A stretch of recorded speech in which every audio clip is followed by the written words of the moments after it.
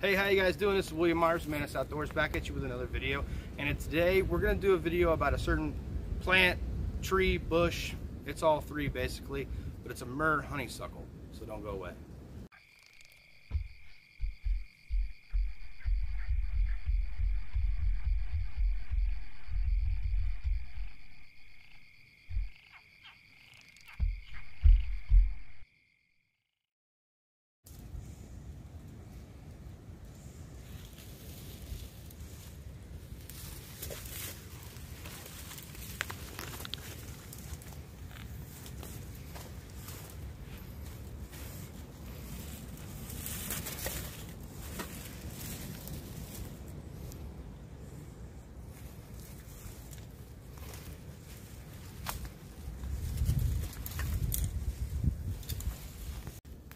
We scan around this area, you can see all around this area, circling me and my camp, is the same plant, bush, whatever you want to call it. Uh, you can see other trees in here, but you don't see very much else other than this particular wood right here.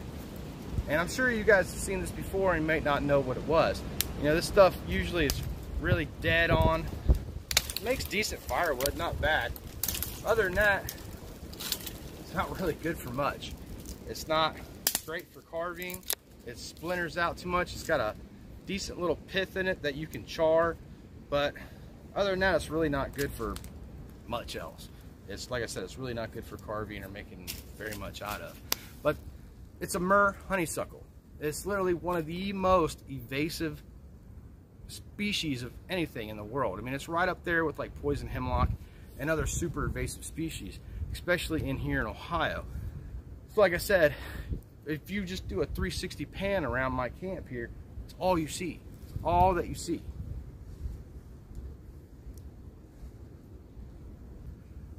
You know, and that is, it's just really not good. You know, this plant will choke out pretty much anything that it, it gets in it's just voracious and it spreads like wildfire. So, you know, I every now and then when I'm doing videos, you'll see me cutting trees down. Um, you'll see me working with certain woods and stuff like that. It's not always this wood. It is some other stuff that I don't care to cut down. Uh, but if you see me cutting stuff like this down, it's because I want to. You know, the, the Ohio Department of Natural Resources tries their best to handle this stuff. Some areas that they don't get into, this stuff takes over, like this area and literally nothing else can survive. You know, it just, it takes over and kills pretty much everything else. Every tree that's around here, except for your really big hardy trees, are dead falling, already on the ground. You know, that's one ash tree. You know, there's some trees over there that are a little bit bigger, more hardy. But other than that, you can see nobody comes back here. You know, I'm, I'm a decent tracker. I would know if somebody came back here. Nobody's been back here in a very, very long time. There's nothing on the ground even. Because this is one of the first plants to bud in the summertime. So it will have its foliage on it and blocking seeds from getting sun and, and nutrients before they even have a, a, chance to start. The only thing really that you'll see around here is like sphagnum moss and things like that. So again, just if you see me cutting down trees, it's not always a bad thing. And to me, it's never a bad thing because when I'll cut down trees, I'll cut down saplings that are choking other saplings out, things like that. You get what I'm saying. But I wanted to raise awareness to this plant, especially Amur honeysuckle. All right, guys, so let's take a close look at this plant. Shrub, bush, tree. This bark is pretty noticeable. Doesn't look like really anything else in the woods. And as you can see, this place is just absolutely surrounding, surrounded by this stuff. And even when this stuff is alive, it just breaks like crazy. You can't even build anything with this stuff half the time because you whisper to it and it breaks in half.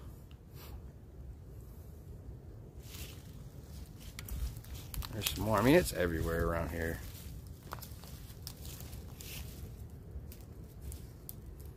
You see that background. There's only a couple trees in that background that is not Amur honeysuckle. It's just everywhere. Well, I hope you enjoyed the video. I definitely wanted to bring this plant to your attention. Hopefully you imprint that to, to memory so whenever you are in your personal space, you'll recognize this and you know feel free to just hack the hell out of it because this stuff is incredibly voraciously invasive.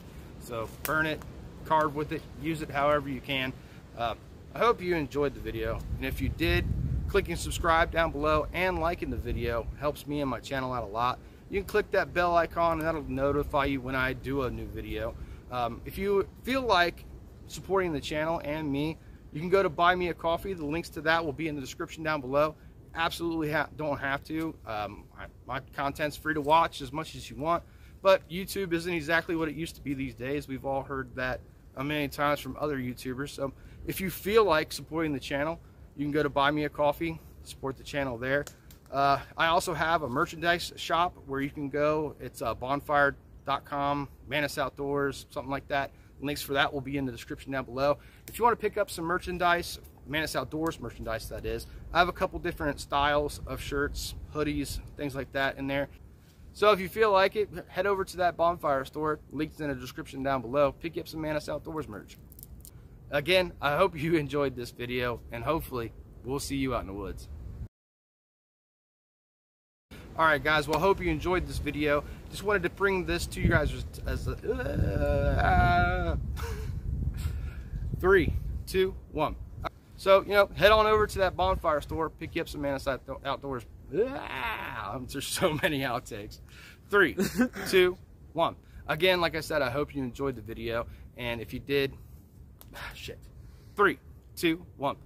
If you feel like it, go run over there, pick you up some merchandise